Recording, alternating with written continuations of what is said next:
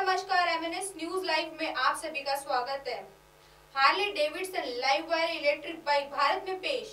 ऐसी संभावना है कि भारतीय बाज़ार में हार्ले डेविडसन लाइव वायर की कीमत 40 से 50 लाख रुपए के आसपास होगी।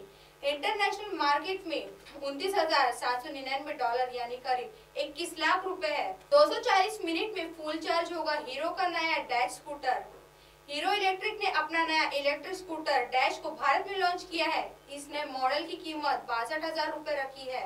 नया डैश स्पोर्टी लुक्स के साथ कई नए फीचर से लैस भी है। सैमसंग गैलेक्सी A10s भारत में नौ हज़ार चार सौ निन्यानवे रूपए की कीमत में लॉन्च।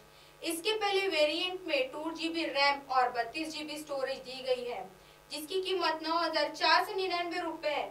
इसके अलावा इसके दूसरे वेरिएंट में तीन जीबी रैम और बत्तीस जीबी स्टोरेज शामिल है। इस वेरिएंट की कीमत दस हज़ार चार सौ निन्यानवे रूपए है।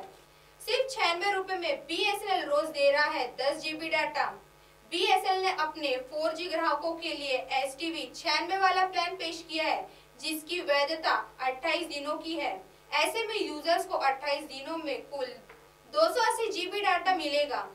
एमएनएस न्यूज़ लाइव की खबरें देखने के लिए आज ही प्ले स्टोर से एमएनएस हिंदी ऐप डाउनलोड कीजिए और इस चैनल को सब्सक्राइब कीजिए। धन्यवाद।